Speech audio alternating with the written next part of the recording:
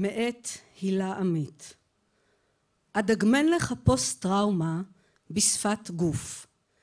אין איבר לא נגוע אבעבועות זיכרון. אני לא מדברת רק תדע. גם כשאתה מלטף אותי מעביר אצבע בין שערותיי אין לי מנוס. אפילו הזמן לא מחק את התמונה.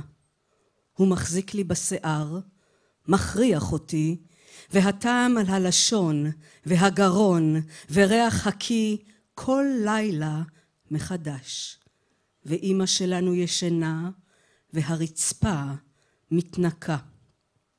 אדגמן לך שנים של שתיקה מבריק מט גם בתמונות הכי יפות הוא שם עליי יד. עשר על חמש עשרה מדף עליון מעל למיטה שלהם.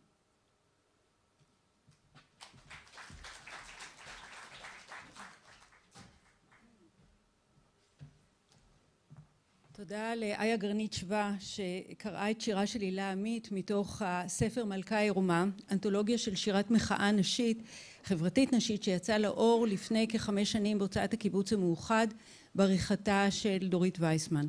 הספר כולל שירים רבים וביניהם גם שירים שפורסים את מפת האלימות הקשה המחרידה כלפי נשים וההרצאה הבאה בעצם משלימה את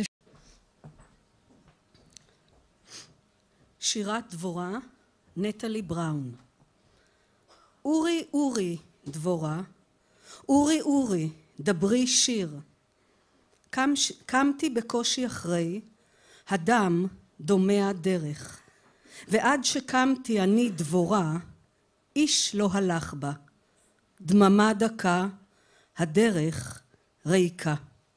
רק אני יושבת תחת התומר עושה משפט בחום הנורא הזה שרתי ביום ההוא לאמור מה שלא צרכתי.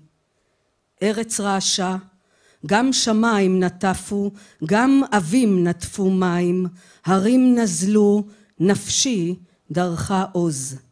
אני דבורה ילדה נביאה ידעתי כי לא הייתי הראשונה גם לא האחרונה. שירים שכתבה דבורה בכיתה ג' שימשו ראיות במשפט אונס ועתה החרישי מדרש מאת תרצה ברמץ שטיין.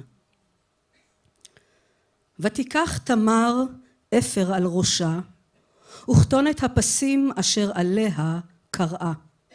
ותשם ידה על ראשה ותלך הלוך וזעקה. ויאמר אליה אבשלום אחיה האמינון אחי חיה עמך ואתה אחותי החרישי. אחיך הוא אל תשיתי את ליבך לדבר הזה. ותשב תמר ושוממה בית אבשלום אחיה. שמואל ב' י"ג פסוקים י"ט עד כ' ותצא תמר מבית אמנון ותלך בית אמה.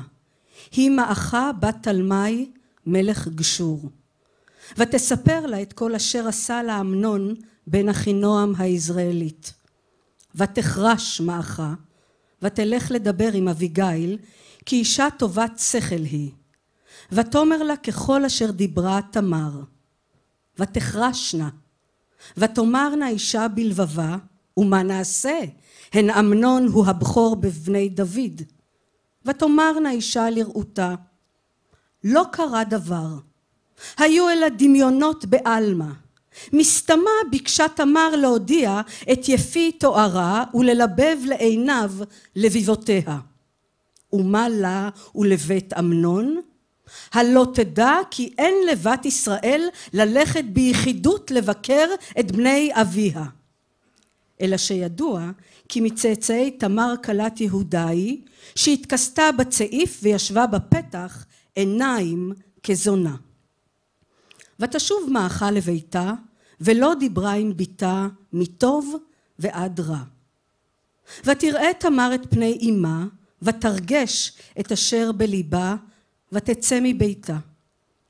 ותיקח תמר אפר על ראשה וכתונת הפסים אשר עליה קראה. ותשם ידה על ראשה, ותלך הלוך וזעקה.